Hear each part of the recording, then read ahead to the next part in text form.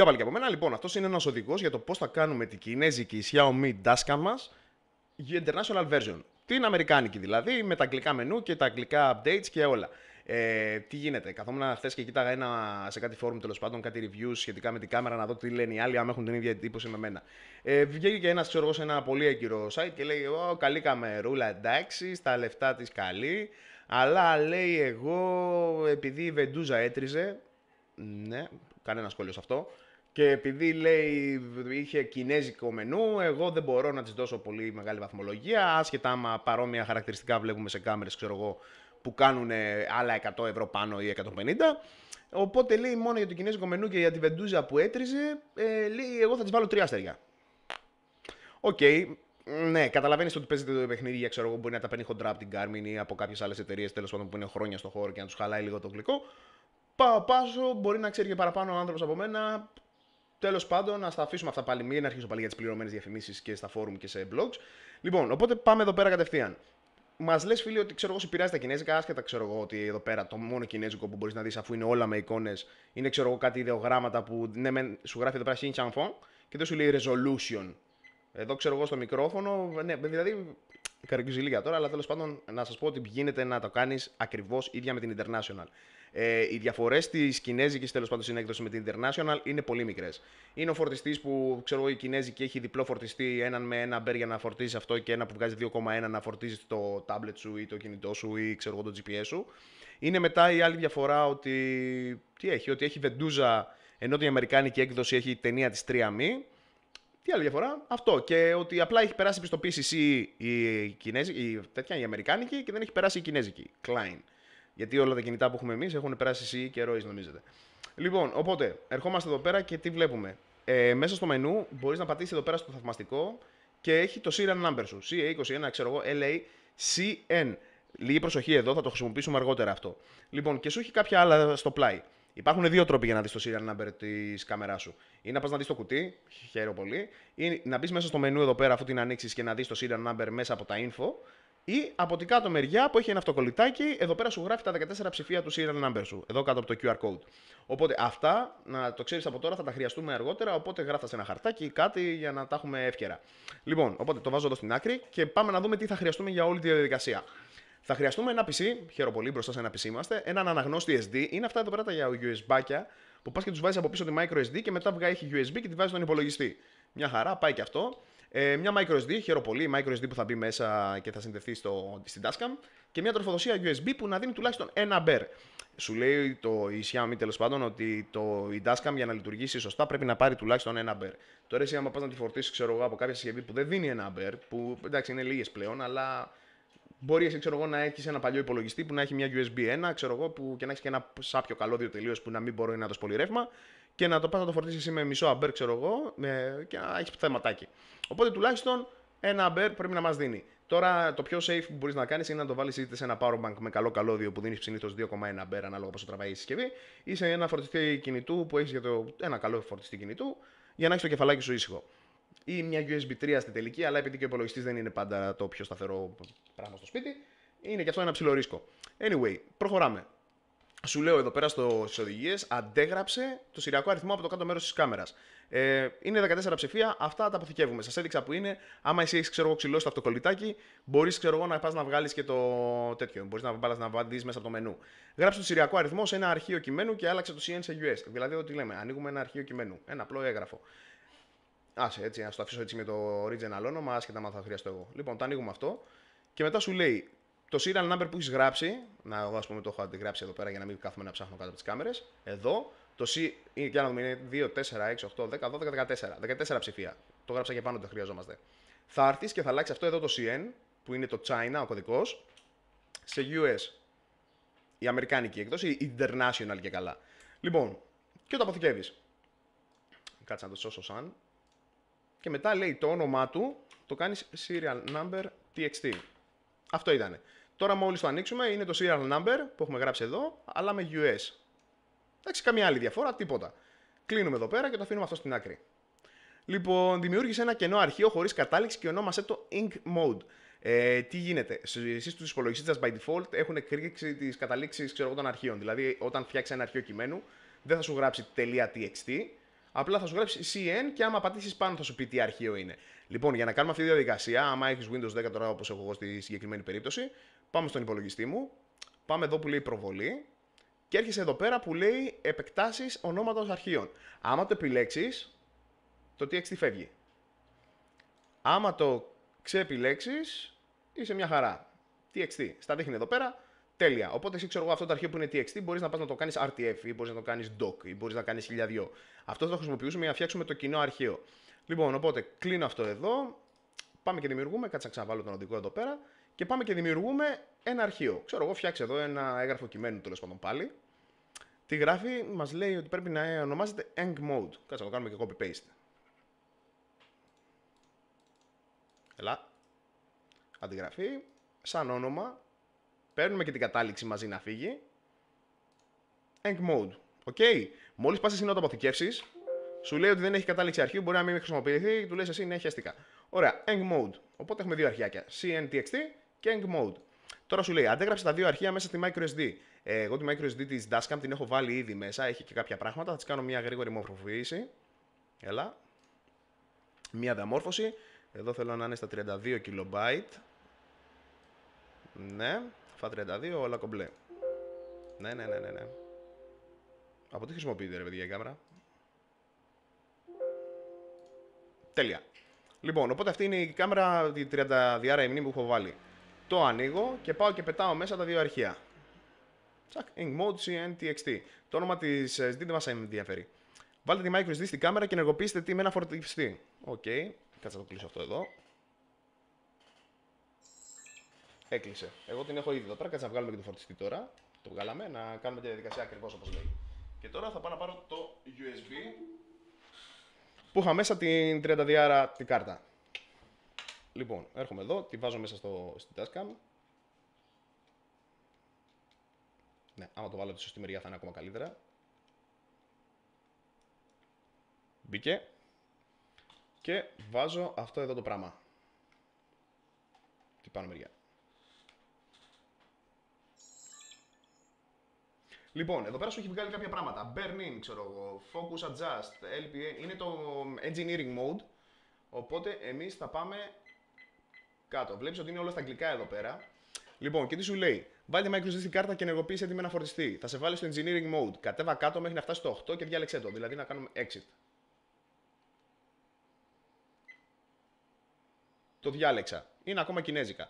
Ε, μετά λέει πήγαινε στο κανονικό μενού εδώ πέρα δηλαδή, που πατάς αυτό εδώ το κουμπάκι, πήγαινε στο κανονικό μενού και κάνει ένα factory reset. Το factory reset είναι αυτό εδώ πέρα που κάνει ανέρεση όλων των επιλογών. Το επιλέγουμε, πατάμε ναι, ναι, ωραία. Και τώρα περιμένουμε. Όταν κάνει επανεκκίνηση, λέει βγες από το αγγλικό μενού, βγαίνουμε από εδώ δηλαδή πάλι και πήγαινες σε ρυθμίσεις και έλεγξε άμα το serial number σου γράφει όντως EN. Αυτά εδώ πέρα το μεταξύ πρέπει να τα κοιτάξω κάποια στιγμή. Λοιπόν, το διαλέγουμε. Πάμε τώρα πάλι στο μενού. Πάμε εδώ στις πληροφορίες και κοιτάμε Serial number CA21LAUS. US. Οπότε έχει πάρει το serial number και τη δείχνει σαν international version. Το πρόβλημα είναι ότι είναι ακόμα η γλώσσα στα κινέζικα. Οπότε πάμε λίγο παρακάτω. Λοιπόν, τι σου λέει εδώ πέρα, σου, μου δείχνει US, βγάζω την κάρτα και τη βάζω στο PC και της κάνω πάλι η διαμόρφωση. Της κάνω διαμόρφωση για να σβηστούν αυτά τα αρχεία, γιατί και την επόμενη φορά που θα πάω να τη χρησιμοποιήσω, θα μου βγάλει πάλι αυτό εδώ το μενού με τα, το engineering. Οπότε πάω και το βάζω εδώ.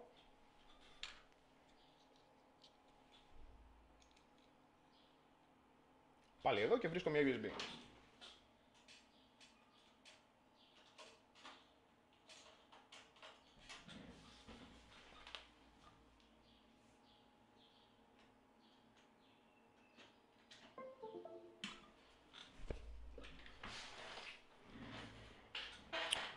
Ωραία, τώρα ξαναβάλαμε πάλι μέσα την κάμερα και πάμε πίσω. Πάμε λίγο εδώ.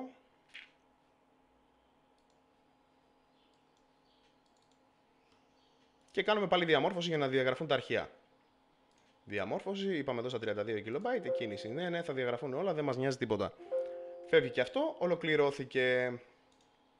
Λοιπόν, οπότε τώρα, η κάμερα έχει αλλάξει το serial number μέσα στο δικό της boot. Πάμε και κοιτάμε τα υπόλοιπα βήματα που πρέπει να κάνουμε. Λοιπόν, όλα όλα πήγαν καλά. Βγάλε την SD του και βάλει στο PC και έκανε ένα φορμάτ. Το κάναμε. Κατεβάζεις το firmware car C10bin από τη σελίδα της Xiaomi. Μπαίνεις σε αυτήν εδώ τη σελίδα, το e-technology.com firmware English, την αγγλική έκδοση, και το κατεβάζεις. Λοιπόν, κάτσε να κάνουμε ένα copy-paste. Για να μην κάνω κατευθείαν το link, για να πάμε εδώ πέρα. Σε ξέρω browser. Λοιπόν, ερχόμαστε εδώ πέρα. Τι μας λέει, ναι, ναι, ναι, για την αμερικάνικη έκδοση. Για να πας, ξέρω εγώ, να πάρει κατεβάσει την κινέζικη όπως έκανα εγώ το unbreaking, έπρεπε να πας στην Xiaomi slash firmware, τέλος στο κινέζικο site. Οπότε, previous download link.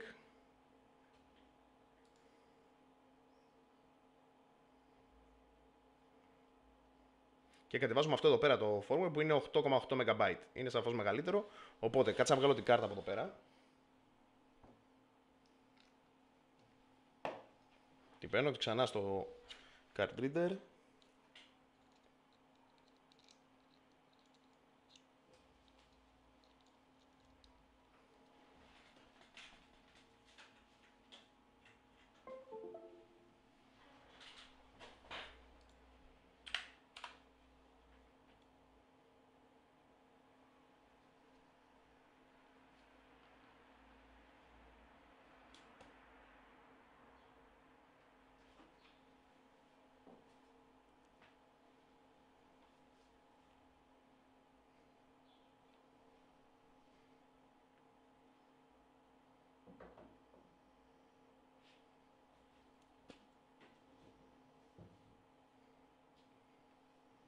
Κατεβαίνει. Αυτό είναι επειδή το σερβερ το κινέζικο κατεβαίνει αρκετά πιο αργά.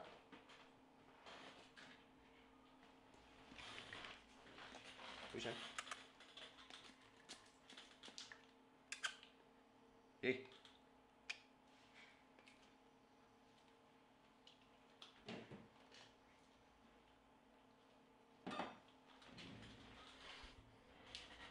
Λοιπόν, αφού κατέβηκε αυτό εδώ πέρα το πράγμα, πάμε να το ξαναπάρουμε από εδώ. Είναι αυτό εδώ το firmware με τα 8,82 MB, το έχει το μικρό. Λοιπόν, οπότε το τραβάμε και αυτό μια αντιγραφή.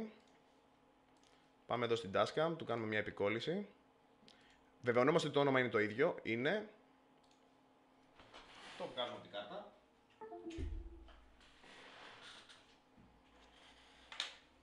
Λοιπόν, και τώρα βγάζουμε την τροφοδοσία. Βάζουμε τη micro USB. Μπήκε το συνδέεις με την τροφοδοσία και βλέπεις εδώ κάτω αρχίζει και αναβοσβήνει το πορτοκαλί. Αυτό σημαίνει ότι παίρνει το firmware. Οπότε τώρα το αφήνουμε εδώ στην άκρη και απλά περιμένουμε. Οπότε, από, εγώ θα σώσω αυτό το αρχείο, να το έχω καβάτζα, γιατί μπορεί να πάνε να το πατσάρουν μετά ή με κάποιο update να μην μπορούμε να κάνουμε εμείς όλη αυτή τη διαδικασία. Οπότε τώρα υπομονή και περιμένουμε. Δεν θα πάρει πολλή ώρα γιατί την προηγούμενη φορά που τη ξεμπρίκαρα με τον παρόμοιο τρόπο να αρχίσει και να αποσβήνει. Αυτό σημαίνει ότι είναι στα τελευταία βήματα και ελπίζω να έχουμε το αμερικάνικο μενού και να είναι όλα μια χαρά. Ναι, διαβάζει από τη μήμη, φαίνεται εκεί πέρα. Εν τω μεταξύ, έχω ηχογραφήσει τώρα αυτό το review, οδηγό, τέλος πάντων, πες το πώς και με το μικρόφωνο το πυκνοτικό που πήρα, αλλά και με την κάμερα. Ε, επειδή το μικρόφωνο το πυκνοτικό τώρα δεν έχω κάποιο stand να το κουμπίσω, το έχω βάλει πάνω σε ένα τηλεσκόπιο τελείως μπακάλικα. Ε, θα δείξει. Θα δούμε τώρα ανάλογα ποιος είναι ο καλύτερος οίκος, θα κρατήσω εκείνον. Ναι, και η γλώσσα από ό,τι φαίνεται δεν έχει αλλάξει. Ναι, ναι, ναι, κάνουμε τέτοιο. Και πάμε εδώ. Είναι όλα κινέζικα. Αν και εδώ πέρα έχει αλλάξει σε US, δεν έχει γίνει τίποτα. Α, όχι, λέει, κάνεις άλλο ένα format τη κάρτα και τέλος. Όλα τα pop μηνύματα. OK, okay, ας δούμε τότε εδώ αφού το έχει πάρει και έχει πάρει και αυτό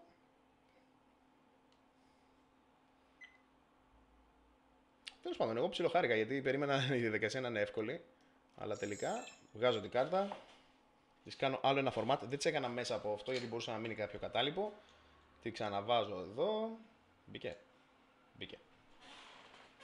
Ξανά πίσω στον υπολογιστή.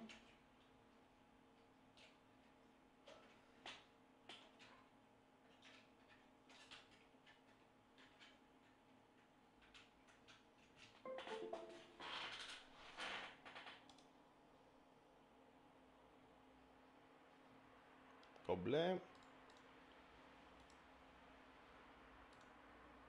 32, φα 32, όλα μια χαρά. Η κίνηση. Ολοκληρώθηκε.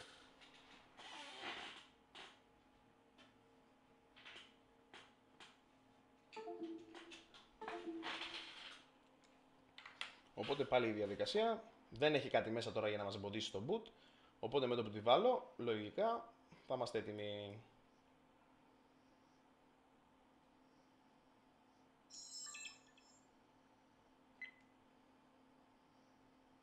Λοιπόν, το μενού είναι στα κινέζικα, οπότε τώρα θα ανοίξω το Wi-Fi.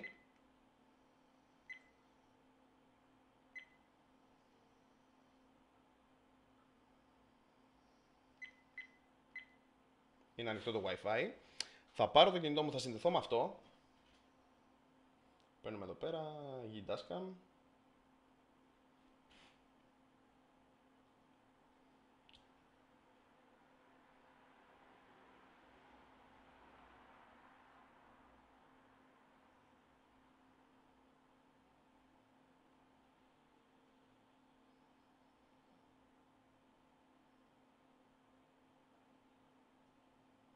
Κάνουμε ένα firmware update από εδώ πέρα. Λογικά τώρα θα ξεγελάσει και το...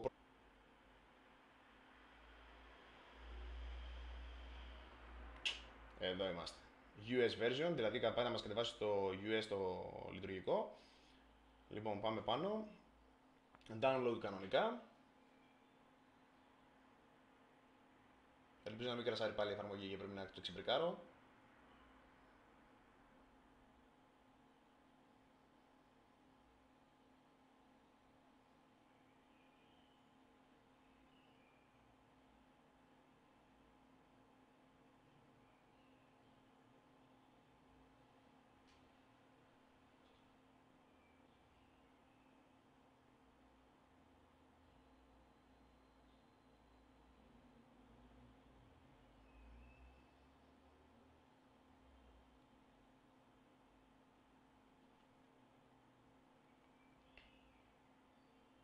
Λοιπόν, δεν την ξαναπατάω, απλά θα περιμένω τώρα εδώ πέρα.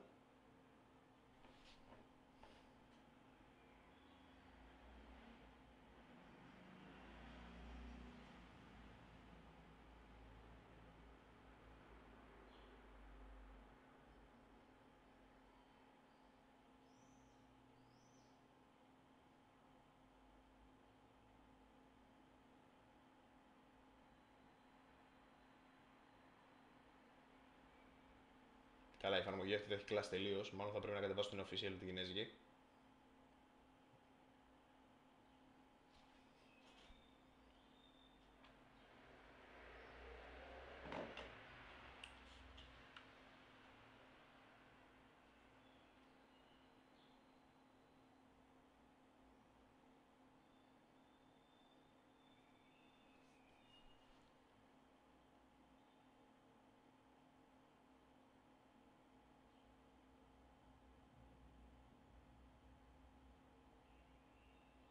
Αναβασμένη πορτοκαλί εδώ κάτω. Αυτό σημαίνει ότι άρχισε και δουλεύει το, ανεβάζει το firmware.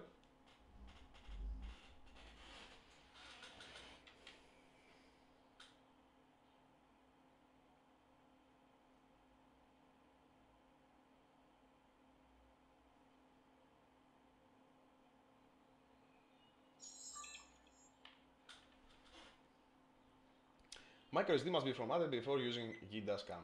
Confirm microSD format. Κάνε το format αγόρι μου, ό,τι θες. Please wait. Οπ, τι έγινε; Αγγλικά. Αγγλικά. Το έχουμε στα αμερικάνικα.